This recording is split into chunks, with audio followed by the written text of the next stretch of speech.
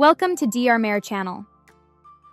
It seems that Spotify has recently tightened their restrictions on the use of Spotify mods, and it looks like almost all the accounts I use to log into these mods, like Spotify X and Spotify, have been banned. Because of this, many people have been looking for ways to transfer their Spotify playlists to other streaming services. In a previous video, I showed how to transfer Spotify playlists to YouTube Music for free using a GitHub project. Lately, I've been getting a lot of comments about a bug in that project. A lot of people have asked me to make a follow up video to explain how to fix it, so I spent an entire afternoon investigating the issue. And the conclusion is that the problem lies with the YouTube Music API. Unfortunately, it's something the API developers or the project maintainer will need to address. So, a quick fix isn't something I can offer right now.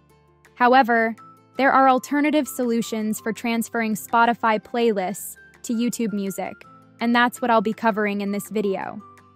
While the GitHub project was great because it was free, there are other free options available. Services like Soundiiz and TuneMyMusic offer free tiers for playlist transfers, and these work just as well as the GitHub project. In this video, I'll walk you through how to use TuneMyMusic to transfer your Spotify playlists to YouTube Music. Let's get started. First, go to tunemymusic.com, select Spotify as the source, and log into your account to grant the permissions. Next, copy the playlist URL from Spotify and paste it into the input bar.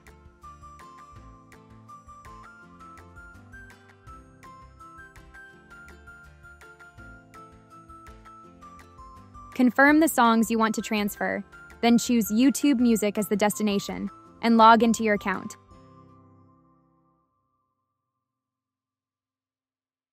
Here you can edit the playlist's basic information if needed.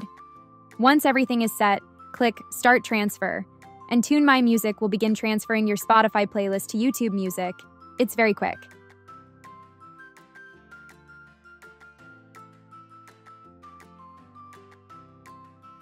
Afterward, you can check your YouTube Music account to ensure all songs have been transferred properly.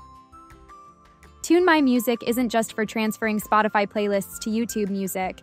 It also works the other way around and supports various other streaming services. If you have a lot of playlists to transfer, you might want to consider Soundiiz. While batch transfers aren't free, the membership fee is relatively low, and I think it's worth it. I've also written a detailed article comparing these services, so if you're interested, you can check it out. I'll include the link in the video description. Thanks for watching. If you found this video helpful, don't forget to like and subscribe. See you next time.